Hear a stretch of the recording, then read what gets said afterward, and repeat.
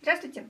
Предлагаем связать узор шариками или с квадратиками. Это зависит от того, насколько тонкая и эластичная у вас пряжа. Такая фигурка и получается.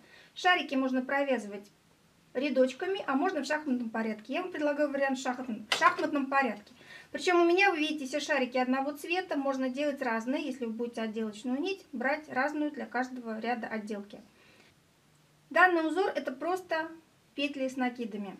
Выдвигаем в определенном порядке. Одна игла в переднем положении, три в рабочем. Одна в переднем, три в рабочем. Если лениво выдвигать руками и нет отборной гребенки 1 к 3, можно взять нашу стандартную 1 к 1, немножко вперед выдвинуть иглы и уже через одну иглу поставить вперед. Так гораздо проще, чем контролировать иглы руками.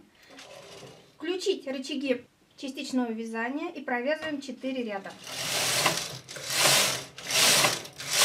Еще раз, отделочная нить желательно тонкую брать. Иглы из переднего положения рабочие. И тоже 4 ряда основным цветом.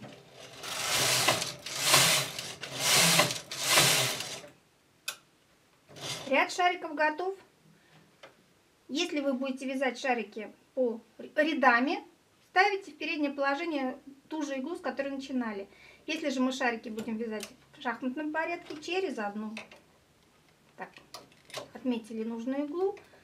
Отборной гребенкой выставили немножко вперед все иголки через одну. И уже руками проще контролировать такой порядок, чем выдвигать иглы изначально. Ставим отделочную пряжу 4 ряда.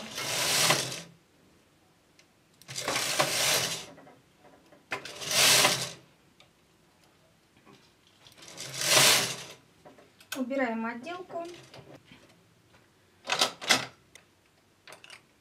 Иглы в рабочее положение. 4 ряда основным цветом.